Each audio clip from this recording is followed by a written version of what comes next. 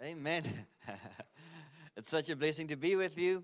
You know, um, I know I'm reminded why I want to take Pastor Bryan back to South Africa and keep him. He's such a blessing. You know, I can win many wars with him by my side. so I want you to know today the gift that you have in the house. And I'm not talking about me, I'm talking about your pastor, I'm talking about the leaders that you have. You don't neglect the gift. We spoke about um, to the youth and the young adults about don't neglect the gift. And uh, God places gifts in us and gives us people. And Pastor Bryan Rhonda is a gift. And I want you to celebrate them and know that God has placed them inside your life. Come on, let's give them a hand. And it's interesting to me that um, when men and women of God arise all over the world, then people often persecute them till they die, then they celebrate them. Are you with me? Let's celebrate them while we have them. While they're in our midst, while you know we have access to them, let's celebrate what God is doing in their lives and the work that He's doing. Amen. Let's pray and let's get into the scripture. Father, I pray for the word this morning, Lord. Holy Spirit, reveal your word. Give us revelation. I pray for every person that's in this room right now that you will open up their eyes so they would see in the mighty name of Jesus Christ. Amen. Again, I want to honor Pastor Bryan Rhonda and the leadership. It's a blessing. Know, because of them, I would have never been here if I didn't meet them. And then there's another man that's connected to this, my spiritual father, Prophet Ed Traut. If it wasn't for him, I wouldn't have met them. So it's just a connection and a connection. God's building his kingdom and connecting people. God is relational. And if we're, part, if we're part of God's kingdom, you need to know that we're part of relationships that God is forming. The person right next to you right now is more important than you realize. There's people in this room that you are connected to because your destiny is connected to them. The next season, your life is connected to them, and you need them more than you realize at this moment. Amen? We have to learn to honor Christ in one another. Don't look at the person next to you and just think, well, that's just, um, you know, my wife and, or just my husband. You know, there's a piece of Christ in them. They've got something in them that you need, whether you like it or not. They, have got something in them. And that something in them is going to move you to the next season. You know, there's been instances and times in my life where my wife was right. I didn't want to admit it, I didn't want to agree to it, but she was right. You know, if I drive and I get on the phone, I get lost. It always happens. I just, I, I, get lost. I'll end up in a different city. But my wife is good with direction. And often we'll drive in the car and uh, I'll be on the phone busy and she can see that I'm lost. But she's waiting for the opportunity when I ask her and say, help me. So, you know, and I know I'm lost, but I don't want to admit it. So I'm driving and driving and driving. And, and eventually, you know, I say, okay, I'm lost. I've got no idea where I am. Help me. And she says, Oh, no, just, just left here and right there, and you're back on, back on the freeway. You know, for us to realize that we need help, is we have to admit that we're lost. We have to come to that place and say, Well, I need, I need help. And that's, that's amazing to me how God has made some of us stronger in certain areas than others. And because of that, we need each other. You know, someone said to me, uh, made a statement, and they say to me that you don't need people. And I don't agree with that. We need people. We need the people that God has placed in, inside our lives because we don't know everything. We all know in part. There's certain areas in my life that I'm strong, but there's certain areas in Pastor Bryan's life that he's strong. And if I can learn from him, then I can grow myself and I can, I, I can become twice the person that I am. But I have to learn to submit myself to grow. Amen? Now, the first day when I met Prophet Ed Traut, um, I met him, met him um, you know, years ago, but four years ago we had an encounter, five years ago, an encounter where I really met him at that moment. And when I saw him and the way he ministered, um, I remember looking at him and seeing how he prophesied. And when I saw that, I said to myself, I have to do that or I'll die. Wow. I have to minister in that way. Right. I have to carry what he carries. Um, now, he's, he's a prophet and you know, he's been all over the world. He's pioneered the prophetic in many nations, Switzerland, Germany, in America, and in South Africa itself. He's been pioneering the prophetic, you know. So he has paid an incredible price for the prophetic all over the world. He's got the marks and the scars and the stories to tell about what he went through and the persecution. Now, I love wisdom. And uh, so I learn quickly. So when I met him and I heard about what he went through, immediately I realized that I want what he has, but I don't want to go through what he went through. you know, I don't want to bleed the way he, you know, he bled. So I, I went to him um, and I said, listen, Prophet Ed, I want to learn everything from you before you die. So he said, Are you prophesying that I'm about to die soon? I said, No, no, that's not what I'm saying. I'm saying that you're carrying something and I want it. But I, I don't want to go through, you know, 30 years of training, stuff that you had to go through to be here. So I'm willing to submit myself and to learn from you. Now, it is sad to me that in the time that we're living in right now, the God is changing. I want to release a prophetic word on you this morning, and this is the word the God is changing. Not just here in this region, but all over the world, the God is busy changing. What does that mean? Means that God has used leaders and men and women of God all over the world, and the God is changing. New people are stepping up, and suddenly sons and daughters are becoming fathers and mothers. There's a shift that's taking place. Now, often we think that to be a father, a mother, or a man or woman of God, we've got this idea what it should look like or what it should be. But God, in His ways, you know, He has the wisdom, you know, to use what we think or what we neglect, what we think there's nothing in, He's got the ability to use that and to make something great out of that. There's things that's happening in the spiritual world in South Africa, in America, you know, there's people that have passed away, there is leaders that have stepped down, and the God is changing as God is, is birthing the new leaders, the new men and women of God that will take God for the next 30 years, that will, try, that will move in the next movement that God has. Now, from the 60s, 70s, there's been movements the whole time. But the sad thing about the movements is that every movement only lasted for a generation that when a movement started, it died with that generation. And in this generation right now, we're facing exactly the same thing. We have a movement, but it's coming to an end, and I have an urgency in my spirit that the movement will not die with this generation. We need it to be passed on to the next generation. Why do every generation have to start all over again? When God builds a kingdom, the kingdom continues to build. The wealth continues to multiply and multiply, multiply. It doesn't start all over again. When a new king steps up, he is reminded of what the glory, the history of the previous king was. All those achievements is connected to the new face, to the new king, to the new person. And that shift is taking place, and we need people to stand up and to arise and step into their positions. Now, when Jesus came, he did not come to introduce a religion, he came to introduce a kingdom. And the function is very different. You know, in the entire Old Testament, it portrays a king and a servant type of relationship. There's a king and there's a servant, and the servant will never have what the king has. He'll always be a servant. Old Testament. In the New Testament, Jesus comes and he portrays a father and a son relationship, a father and a daughter relationship. You know, when Jesus has to deal with the woman um, that was caught in adultery, at that moment when he's sitting there, it is a father that has to deal with a daughter at that moment. So it portrays different things. So now, with that comes the authority and the power. Servants cannot walk in authority only sons and daughters can inherit and walk in authority. Now, I want to make the statement today, and I want to say to you that the size of a ministry is not defined by the members, but by the sons and daughters.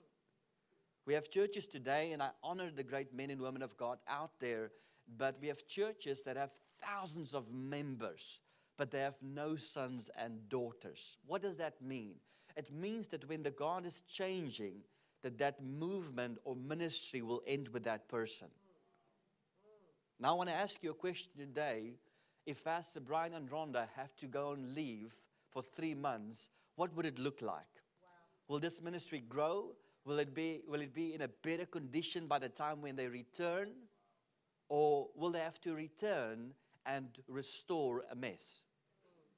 Now, I'm talking about members. You know, it's not defined by the members. But you know, today there's even people that is not even members yet, they're still goats. What is a goat? A goat is someone that jumps from field to field to field. Now you need to understand that whatever field you eat from, that nutrition will grow in your spirit, and that is what will be manifested in the natural. So we have people that is not even members. They just jump from prophetic conference to prophetic conference. You know, from event to event, from you know, they're not connected. But then we have people that have become members. They are excited to say that I'm a member of this church. But they come and they leave and they do nothing else. I'm talking today about sons and daughters. Sons and daughters that's walking in the same authority and power that their father is walking in. Now, when it comes to spiritual fathers and mothers, immediately there is people, and let me tell you what it is. It is a religious spirit. Immediately there's people that objects and say, well, I don't like this idea of a spiritual father. I don't like this idea of a spiritual mother. And I want you to get my heart, my spirit this morning. I'm talking about this because I'm talking about kingdom stuff. The idea here is not about someone that's in a position that's controlling other people. What I'm talking about, it is someone that's walking in a certain authority, and that authority needs to be passed on to the next generation, to the next person. There's people in this room this morning that have to step into a role where they have to become fathers and mothers. And you know, there's this void right now, and it's both sides. It's not just the challenge, not just with spiritual fathers, but it's with sons and daughters as well. You know, the spiritual father or mother, they, can, they, they want to impart, they want to give, but we need sons and daughters that's willing to receive as well. When the day comes and you don't receive anymore, the problem is not with the pastor, but with the receiver. It's not the pastor who's cut off you know, the place of receiving, it's the receiver. And it's so important for us today to honor leaders, to honor people, to honor one another. And that's why I say to you this morning, there's a person next to you right now, and if you're struggling to honor them, at least honor Christ in them. Because they've got something in them that you need, and that's vital to what God is doing with you and where He's taking you in the future. I remember a couple of years ago, I was with a specific pastor and um, uh, in Singapore, and uh, we went to the meeting. And afterwards, we went to a restaurant. We're sitting in this restaurant, and uh, the pastor said to me that this restaurant uh, belongs to one of the members in his church. And while we're sitting there, this lady comes and he says to her, um, um, I haven't seen you in church, uh, you know, for, for some while, for, for a while. And she said, well, Pastor, we, um, we're not in the church anymore we joined a different church. So he said, That's okay. But if I may ask, why are you, why did you leave? So this lady responded, she said, um, Well, my pastor that I'm with now says that, you know, he's, he's, he's much older than you. And he says that you're a little bit young and a little bit immature to preach the word. And, and that's why we are with him. And he said, Well, that's, that's fine. Um, but he remembered that she had a daughter who was sick. And he said to her that, um, how's your daughter doing? I remember that she was sick. What is happening with her? So immediately, this woman sat down at the table with us and she said, um, Pastor, yes, my daughter is still sick. Will you please pray and release a blessing upon my daughter? You know, we need healing in her life. So he responded and said, He said, Well, don't you think you should maybe go to your pastor yeah. who is more mature? Yeah. You know, let, let him pray. Uh, so she responded and said the following thing. She said, My pastor does not believe in healing. And this is very important for you to get because the tree that you eat from is the tree that you will receive from. So, this is a lady that's sitting in a ministry that does not believe in certain things. And then, when the hour comes of need, she does not have access to it because that's what she's connected to. When it comes to spiritual fathers and mothers, when the time of need comes in your life, the need can be met because of the tree that you're eating from. Okay? Now, I spoke to this uh, in a church, and a lady came to me afterwards, and she said to me, Andre, um, I, I, heard the message, and, but I just want to tell you that I don't really agree with everything that they teach here. You know, um, I know that our church don't believe certain things, but I believe in it. Well, unfortunately, when you're connected to that household, when you're connected to that family. you know, this hand can go into a different direction than this hand is going. It's connected to the same vein, to the same muscle. it can do its own thing. It's connected to the same body. I'm saying to you this morning, you need to be careful what you're connected with. When it comes to our need, I want to be connected to a family and a church that says, I believe in healing. Now, a sign of a church that says we believe in healing is a church that's praying for people. Not just saying that they believe it. Uh, you know, when a time of challenge or trouble comes in my life where I need a financial breakthrough, I want to be connected to a church that says we believe in God's, we believe in financial blessings. You know, a church that's sending a man from South Africa, Pastor Didi Tasson, that'll be here in a couple of weeks, a man that's extremely blessed that can release something because a church believes in that. And that's why they're sending, that's why they're making that part of the meal that you're receiving because they believe in that. Now, when you become a son and daughter, you start to share in the inheritance and the power that is running in that ministry. Now, the sad thing about these movements is that 60s, 70s, 80s uh, produced movements, but the 90s started to produce celebrities. Okay. Suddenly, we have men and women of God that have become celebrities. They're untouchable. They function in places and levels where, you know, everything is just built around them. One of the principles that I want you to know this morning is when we talk about spiritual fathers and mothers, a spiritual father is someone that you are connected with. It's someone that is within your reach. It is someone that you have access to. I have people today that say to me, Andre, this person is my spiritual father. And this person that I'm referring to, you know, he's got 5,000 sons. Well, I'm saying if you can't pick up the phone and call him and you don't have access to him, he's not your spiritual father. A father is someone that you have access to. It's someone that will pick up your call in the, in the time of need. You know, as a prophet, I have to walk with integrity. And there has been times in my life where people have approached me and they said, Andre, we would, would you be a spiritual father to me? And because of the integrity in the prophetic, there has been times where I had to say no. And the reason is because when they phone, I will not be able to pick up that call. And because of that, I have to redirect them to the church. I have to redirect them and say, who is the person that you have access to? Who's the person you know that you're following? Who's the leader? Who's the pastor? Who's the one that you have access to? Follow them. Walk with them because they are going to be there daily in your walk with God. Amen. Now, when we look at the life of Jesus, and I want to just touch on a, on a couple of things quickly.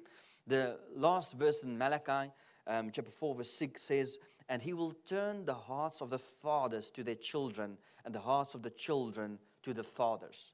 So, the last verse in the Old Testament, God is coming, is saying that I'm, re- I'm reuniting the sons and the fathers, the daughters and the fathers. I'm connecting them again. Now, when you look at the life of Jesus, there's certain things that he understood. And know, as a kingdom citizen, as someone who came to portray a father and son relationship, there's certain things that he knew. Now, the things that he knew, the first things that I want to touch on this morning is that Jesus knew his identity, his purpose, and his origin. Those three things. Now, as a son and a daughter, you have to know your identity, your purpose, and your origin. Things that you need to know. Servants don't know that. Servants don't know their identity, they don't know their purpose, they don't know their, their origin. They just serve from day to day to day just to make it. They will never walk in authority. I want to take you to, you could read with me in 1 Samuel chapter 16, verse 1.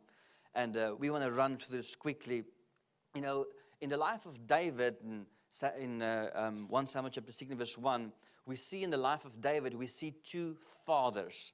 We see Samuel, who is a spiritual father in the life of David, and we see Jesse, his natural father.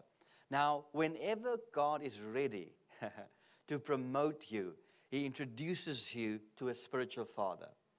A spiritual father is one who looks at you and sees the potential that's inside your life. And sometimes that potential is hidden from a natural father. A natural father can't see the true potential, the gifting that's placed upon you that's there. So in the life of David, he has two fathers. Now, when it comes to Jesse as a natural father, there's a couple of things that he does. As a natural father, he hides him. He has no confidence in his potential. He has no prophetic insight into his destiny. He's embarrassed because David was the fruit of an affair. So his natural father is hiding him. When Samuel said, Call all the sons, his natural father did not call him. He did not think that he's worthy enough to be in that meeting or to be there because his destiny was hidden from him. He was trying to hide David because of the past and things that was connected to David. But uh, Samuel, as a spiritual father, when he sees David, Samuel respects his uniqueness. Samuel has prophetic insight into his destiny. Samuel sees the hidden gift that God will, that, that will change a nation. And Samuel is honored to have met the next king and anointed him. Now, as a son, there's a couple of things that you need to understand. Those three things your identity, your purpose, and your origin. And in the life of Jesus, he understood his identity. He knew he was the Son of God. Nowhere was there a place where Jesus questioned his identity. He knew he was the Son of God. There was a time where Satan tempted him, and Satan said, oh, Well, if you are the Son of God, then prove it to me. You have to do this to be. But Jesus knew, you know, when, when you know that you're a son, you don't have to prove anything because he knew his identity. He didn't have to perform to be a son, it was in his DNA. You know, as a son, he knew his purpose. He came to destroy the works of the devil. Wherever he went, he knew what his purpose was, and he was looking for that. He was here to destroy the works of the enemy. Everywhere he goes, he's looking for that. Now, the, his, when it comes to his origin, he knew his origin. He came from the Father and he would return to the Father. There was no place where he panicked throughout his time on earth and worried about you know, his return. He knew where he was going, he knew where he was coming from. His purpose was made clear to him. He knew what was the purpose and reason why he was here. Today, we have people who live without purpose. They don't know what their purpose is. And constantly they're asking, What is my purpose? It is one of the questions that's being asked all over the world. Why am I here? What is, what is my purpose? People that's asking, What is my purpose? is people that is still servants. Because sons and daughters know their purpose. You know, I am a son before I am a prophet. I know my purpose. I know what God has called me for. I know what the purpose and the mandate is upon my life. And because of that, I can walk in authority because I know my purpose. I know my, uh, my identity. I don't need someone to come and confirm my identity because I found my identity. It was birthed in me.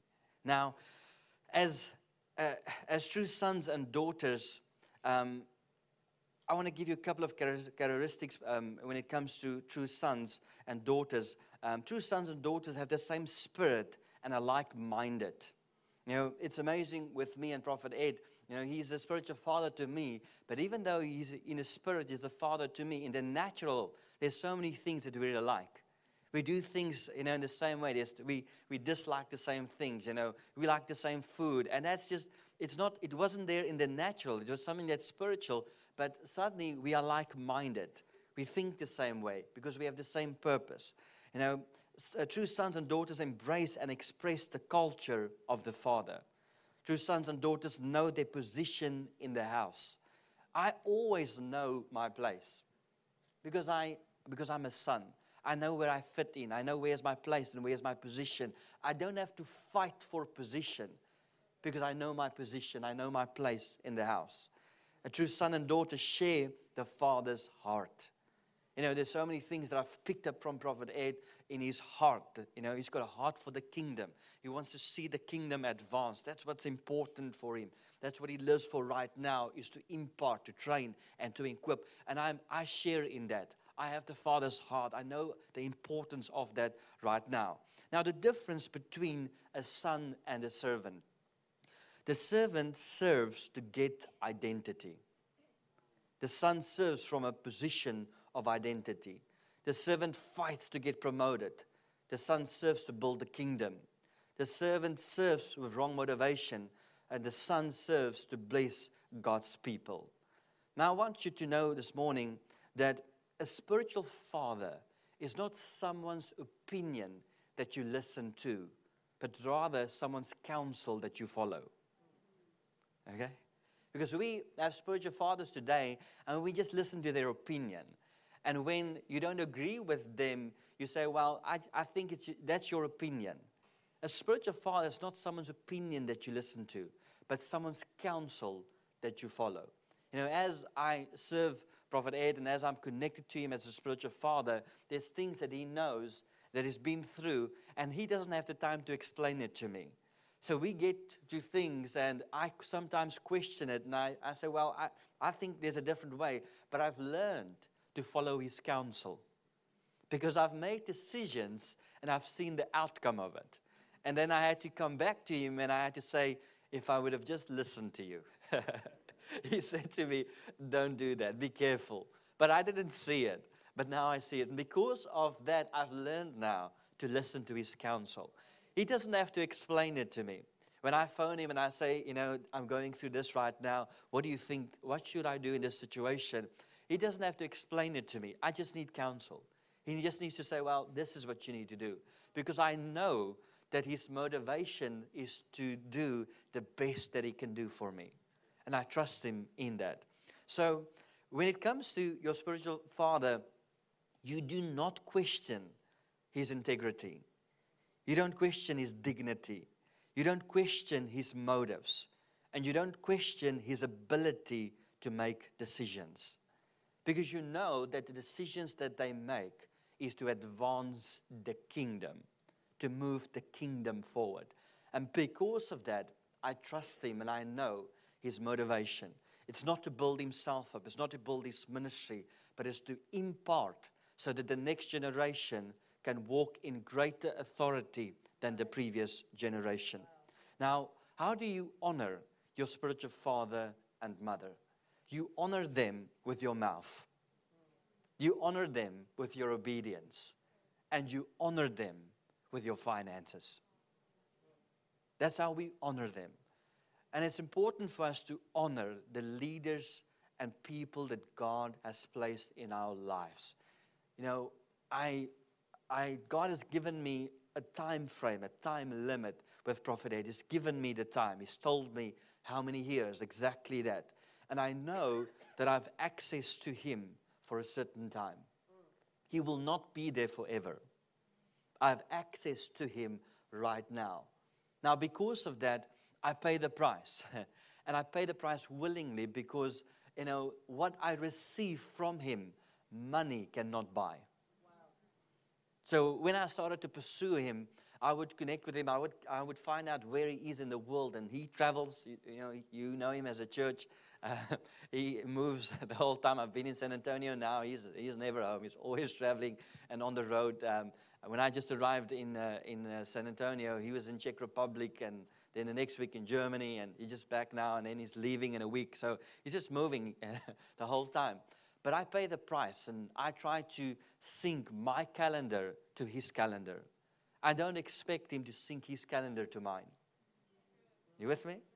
So I fall in with him because he has got something that I need. And right now, even though I, I add to his life, you know, with my mouth and with obedience and financially, you know, he's got something um, that I need and that I want, and I want the importation of that. But right now, there is nothing that I can really do for him. So in this relationship, I'm being blessed way more than he is blessed. Because he's got something that I need, he's got something that I want.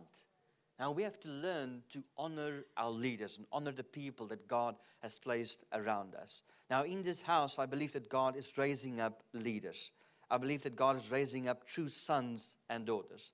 In Romans chapter 1, verse 11, he writes and he says, I long to see you so that I may impart to you some spiritual gifts to make you strong. That is, that you and I may be mutually encouraged by each other's faith. Now, when it comes to spiritual inheritance, it cannot be passed on to servants. It can't. a spiritual inheritance cannot be passed on to a natural son. It is not you know, automatically being passed on. So therefore, the son, and I'm not saying that a natural son cannot become a spiritual son. You need to understand that. When a natural son learns to see the anointing and the hand of God upon their fathers, then they can be equal partakers, equal partakers in the spiritual blessings that they carry. But they have, they have to learn to look beyond the natural, not just see the limitation that's there, but to see the spirit that's upon their lives. I travel a lot with Prophet Ed, and because of that, you know, there was a time in my life four, five years ago where I looked at him and I would have given anything to be in the same room with him. Anything. I looked at him, I would have, I would have been willing to pay any price just to be close with him, just to be in the same car with him, just to sit in the same room with him. Now, because he's a spiritual father to me now, I have access to him. So I travel with him. I spend time with him. We stay in the same hotel. So we stay sometimes in the same room. You know, we spend a lot of time in the car. But even in that, I have to learn to continue to honor him. There's times when I get tired. There's times when I get frustrated. But then I have to remind myself who I'm sitting with. I have to remind myself that there was a day where I said I would give anything to be in the same room with him. So even though he's a father to me and there's things that we have in common and we can have fun and we can enjoy things together, there's still a boundary that I will never cross. There's still a place of honor and respect that I will never go. You know, as soon as I said it last night to the young people, you know, something that is familiar, when it becomes too familiar, it becomes unfamiliar. So even though he's familiar to me, I can't allow him to become too familiar.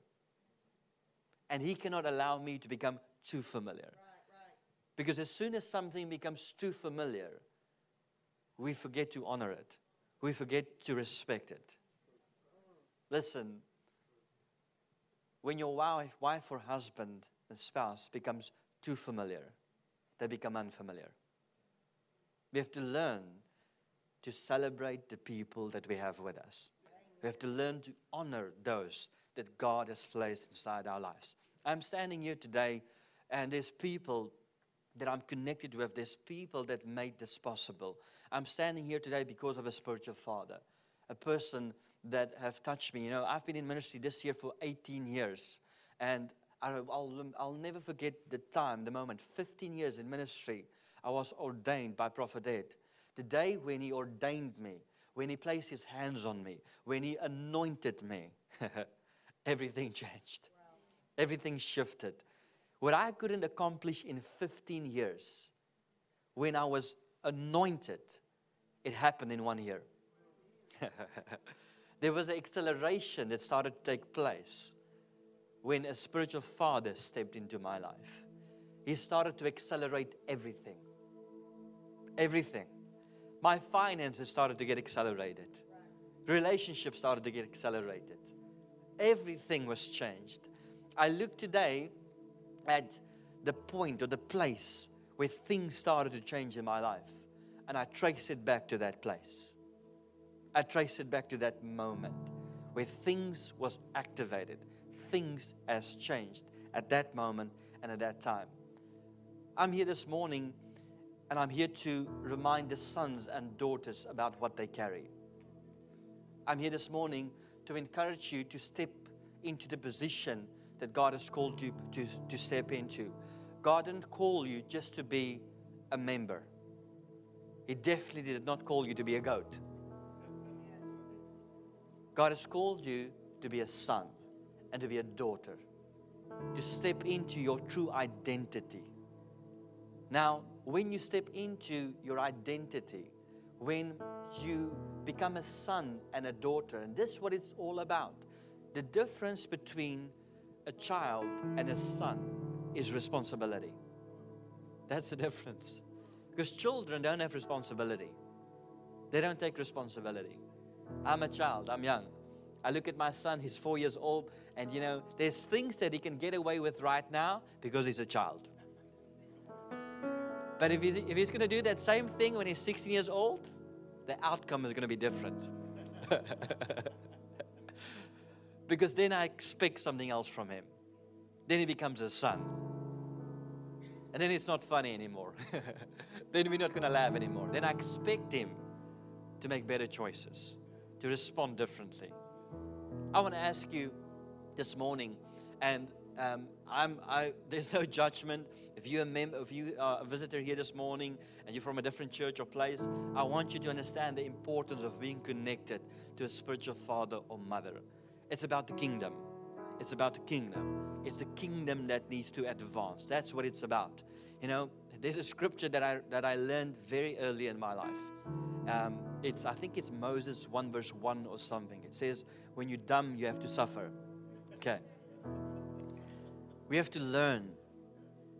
Why do you want to walk this journey of 20, 30 years and go through all these things if there has been someone that has already been through it? And that's why when God introduces you to a spiritual father, it's someone that steps into your life. It is a mentor, it's a coach, it's someone that trains you, someone that advances you, someone that has the ability to ignite the potential and giftings inside you. Suddenly it grows, suddenly it blooms, it starts to function. It's been there all the time, but it's been neglected. Now I'm saying to you that there's people in this room, and maybe you've just been a member of this church, of this ministry. But I'm here today to say to you that we need the sons and daughters to stand up. The enemy, the enemy comes to steal, kill, and destroy. And I want you to understand right now whatever you're going through, you need to see and realize it is the enemy that's behind it. Listen to what I'm saying. It's the enemy that's behind it. He's the one that steals, kills, and destroys. Don't look at the situation. Don't look at what you're seeing. Don't look at the crisis. That's not what it's about. Don't look at the person, the individual. There's something behind it, and that's the devil. and he is trying to steal, kill, and destroy. But as a son and daughter, you can walk in authority. Now, the amazing thing about the authority about Jesus, because he knew his identity, he did not try to deliver people from demons. When he walked into a room, they left because he knew his identity. They responded, they left. Church, I'm saying to you this morning if you know your identity, demons will flee. If you know your identity, the attack that's happening in, right now in your life will stop immediately. And that's what I want you to realize to, tonight is this morning. Don't look at the situation, look at the crisis, look at your identity. Look at what you're carrying. look at what you have. I was saying to the young to the youth last night, you know, this thing about Renaissance pictures. Uh, Renaissance pictures paint certain pictures and it gives us idea, and the wrong idea, the wrong picture gives you the wrong idea. And today we're walking with things, and one of those things is the enemy. There's people that's going to be very disappointed one day when they get to see Satan because he's a lot smaller than they think. Renaissance pictures have made him this huge thing and God this small thing. No. There's people that are going to be very disappointed one day when they see themselves in the Spirit and they realize the power that they've had that they've never used.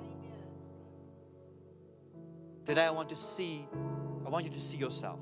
I want you to see the identity that you're carrying, that you have upon you right now.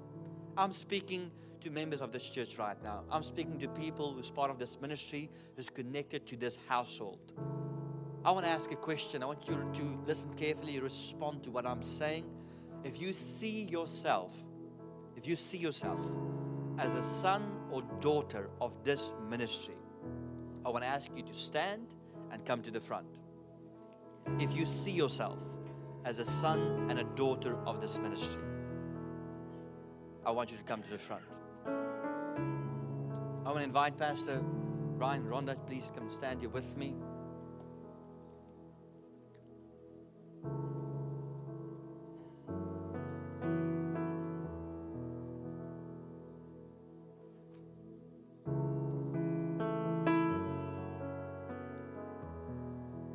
Make some room for more people if you can.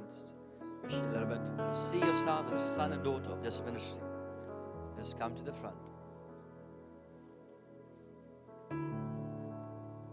I love that. I love that scripture. I want to read it again. Romans 1:11. He says, "I long to see you, so that I may impart to you some spiritual gift." I long to see you. he's saying to the church. He's saying to his to his leaders, to his disciples, "I long to see you because I want to impart to you." You know, we need times of impartation. We need times where we impart. And this morning is a time of impartation. There's things that they carry in their lives that they have upon them. They've, they have a journey. this building didn't just happen, ministry didn't just happen. There was a process, there was a journey, there was things that they went through. They have fought battles. They've been through financial things. But today they're standing here and there's a victory that they have upon them. And the good news is that you don't have to go through the same thing. Come on, listen to what I'm saying. You don't have to go through the same thing. You don't have to go through the same thing. Whatever they've been through can be imparted into you. They can accelerate your destiny, they can accelerate your position. When Prophet Ed imparted to me, it accelerated everything in my life. Everything got accelerated. I was limited to one nation. When he touched me, the world opened. 32 nations opened. 32, when he touched me, 32 nations opened immediately. one touch because of what he carried. And because I stepped into my position, I realized that I'm just, I'm not a child anymore. I, I'm a son. I'm a son. And I'm going to carry the DNA of the Father. In the position where God has called you, whether it's business, whether it's in the medical field, whether it's in a, whatever the position is, the acceleration that they have in their lives can accelerate you in that position, can accelerate you in that place. Amen? I want you to take the responsibility. Those of you that have taken responsibility, I want you to hold on to that. But those of you that haven't taken responsibility, what? For this ministry, praying for your leaders, praying for them. How many of you are really praying for them? I know they're praying for you. I know that. But are you praying for them? Are you taking time out of your day to pray for them? That God would sustain them, that God would uphold them. Are you praying for your leaders? Because we need them. This city needs them, this church needs them. And unfortunately, they're not going to be here forever. But whatever they carry needs to be imparted into the next generation. It needs to be imparted. I want you to close your eyes for a moment and just put up both of your hands. I want to ask Pastor Bryan Rhonda just to stretch out your hands to your sons and daughters. Not servants, sons and daughters. I want you to receive. I want you to receive this morning. It is impartation. The great thing about impartation is you don't have to work for it. Someone else paid the price, someone else worked for it. And this morning you can just receive it. You're standing in that position, and when you stand in that position, you're receiving. Father, I declare right now, as Pastor Bryan and Rhonda stretch out their hands, I declare right now financial acceleration, financial blessing, financial breakthroughs. Father, I declare right now, spiritually, spiritual blessings that will come upon the sons and daughters. I pray for wisdom, wisdom that will come upon them. Father, I pray all spiritual blessings. I pray for healing. I pray for breakthrough. The things that they had to conquer, the giants that they had to fight. I declare that those same giants will fall in the lives of the sons and daughters. when David died, when David dealt with Goliath, no one else had to deal with him again after that. They've dealt with the giants, they've fought them. And you can share, you can be an equal partaker this morning in the breakthrough and in the blessing. Father, I release upon every son and daughter of this house right now acceleration, acceleration, acceleration, acceleration. Father, we give you all the glory. God, this is kingdom. We are building your kingdom. We're building your kingdom for your glory, not for our glory, for your glory. Thank you, Father, you're saying that you're, you are building your church. And nothing, nothing will stand against it. You're building these people, kingdom citizens this morning, that's standing in their positions. Some of them that's becoming fathers and mothers that have to start to impart into others, that have to step in.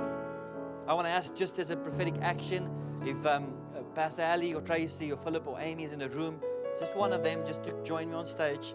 Just if there's one of them in the room. Because some of you that have to become fathers, you have to step up. You have to step up in your position. It is important that what you carry is being imparted into the next generation. Imparted. Come, Pastor Ali. Just stretch out your hands. Just stretch out your hands. Thank you, Father. As He stretches out His hands, I call the sons and daughters to stand up in authority to become fathers, to become mothers, to start to train and to impart into the next generation, to realize that there's people around them, it needs to advance, it needs to be imparted, the wisdom in this place. People that carry wisdom in this place, wisdom in business, in the business world, it needs to be imparted. People that's carrying wisdom when it comes to the to giftings, it needs to be imparted into the next generation. We want to see the next generation grow, being more effective. Build upon this generation. I declare this morning that what God has done in this house, in this ministry, that it will not end. It will move on to a next generation and it will become more powerful. I declare that right now in the mighty name of Jesus Christ. Amen.